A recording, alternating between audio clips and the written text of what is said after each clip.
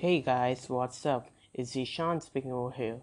In this video, I'm going to show you how to use a lucky egg unlimited times in Pokemon Go. So let's get started. As you can see, uh, in my item item section, there's only one lucky egg, as I have used one at the morning, and then to use it unlimited times, you have to first off the application, and then go to the settings and then you have to go to um, date and time and then turn off automatic time and set the time at which and the time you started the lucky egg.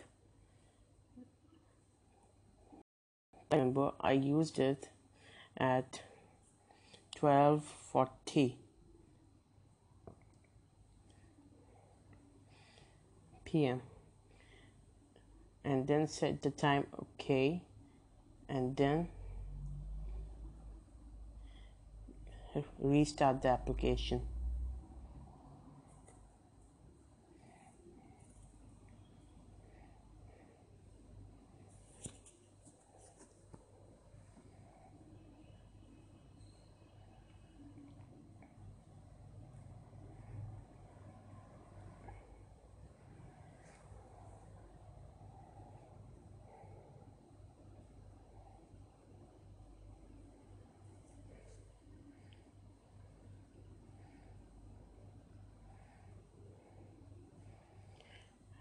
now as you can see uh, the lucky egg, egg has started again. And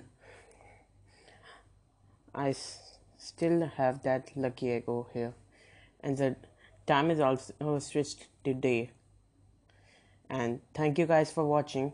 And if you like this video leave a like and do subscribe